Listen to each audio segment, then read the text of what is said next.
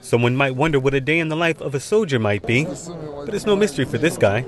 Former UFC champion Forrest Griffin, who is participating in the American Dream U program, got a close look during his visit to JBLM and got down and dirty with the soldiers. You gotta be shooting at Only five, Sergeant. Oh, I never shot laying down before. Prone. How'd it feel? Awkward. That hurts. Yeah. feel like I got dirt down my britches. Griffin showed his support by spending time and getting to know the soldiers who appreciated the visit. I think it's good. I think it's good for the morale. I think it's good for everybody to get a chance to, you know, meet celebrities, meet people that they get to watch on TV, and I think it's good for the unit, good for the group. Army Sergeant Elwin Lovelace, Joint Base Lewis McChord, Washington.